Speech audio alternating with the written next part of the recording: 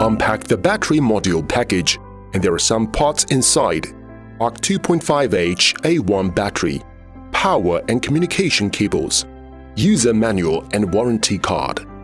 The power interface of ARK 2.5H A1 battery link ports for multiple battery packs in series communication. The battery negative terminal and the positive terminal. Grounding connector. Unpack the BTC 95045A1 package and there are some parts inside. BTC 95045A1 module, the battery power module, power cables, just proof terminal, warranty card, the terminal interface of the power module, BTC 95045A1, the power terminals to the inverter, power button, the INV port to communicate with main XH inverter. The link in and link out ports are reserved from multiple clusters of ARK battery in parallel.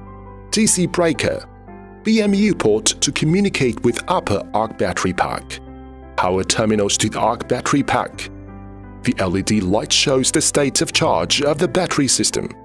The USB interface for quick firmware upgrade on site. The ARK battery base is used for floor installation.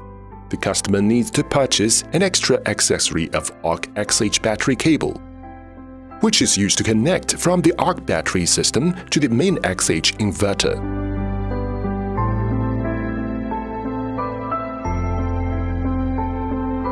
Adjust the screws of the ARK battery base to ensure it on the floor horizontally. Put the battery base on the floor where it's close to the wall. Stack one ARK battery pack on the base. Remember to remove the top cover of the battery pack. Then stack the second ARK battery pack. Install the safety part in the final ARK battery pack and stack the battery pack to the whole system and fasten the safety part to the wall. Stack the power module to the whole system. And please don't remove the partial top cover of the power module. Connect the metal connectors between battery packs. Make sure all the connectors on both sides of the ARK battery are well connected. Remove all the dustproof cover attached to the battery pack. Connect the ground cable between battery packs.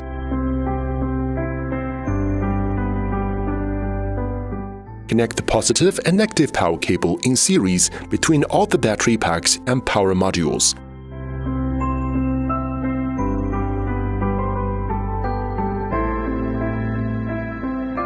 Connect the communication cable from BMU port of the power module to the link 0 port of the topper battery pack and connect all of the battery packs one by one.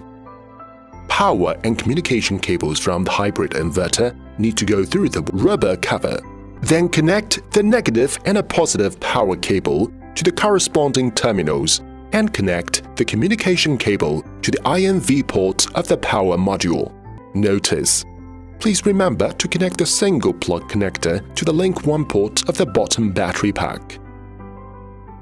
Install the dustproof covers back to the floating terminals Please remember to connect the ground cable made by the installer from the whole ARK battery system to the earth point.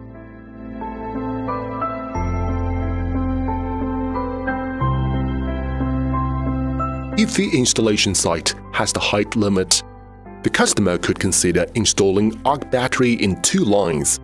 An extra ARK 2.5H A1 series cable accessory is required and follow the dynamic diagram to connect the ARK battery system.